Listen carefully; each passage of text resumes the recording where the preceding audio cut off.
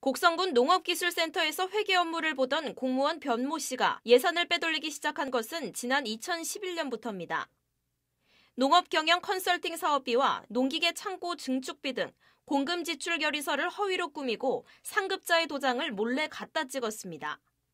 변 씨는 이 같은 수법으로 3년간 69차례에 걸쳐 1억 8,750만 원을 빼돌려 주식 투자했었습니다.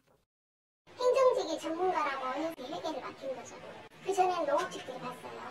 오히려 고양이가 생선을 원리 원칙을 악용을 해서 고마하게 빈틈을 예산을 현금으로 인출하거나 본인 계좌로 이체했지만 누구도 변 씨를 의심하지 않았습니다. 변 씨의 지속적인 공금 횡령은 감사원 감사에서 꼬리가 밟혔습니다. 정작 감사를 한 곡성군은 이런 사실을 까맣게 몰랐습니다. 반납을 했으니까 실질적으로 이제 빠져나간 노는 없고요. 패턴을 저희들이 인식을 했으니까 의심이 가면 수시로 들어가서 그런 형태가 있는지 수시로 봐야만 가능합니다. 곡성군은 변 씨를 직위 해제하고 경찰에 수사를 의뢰하는 한편 관리 의무를 소홀히 한 변 씨의 상사에 대해서도 징계를 검토하고 있습니다. KBC 신민지입니다.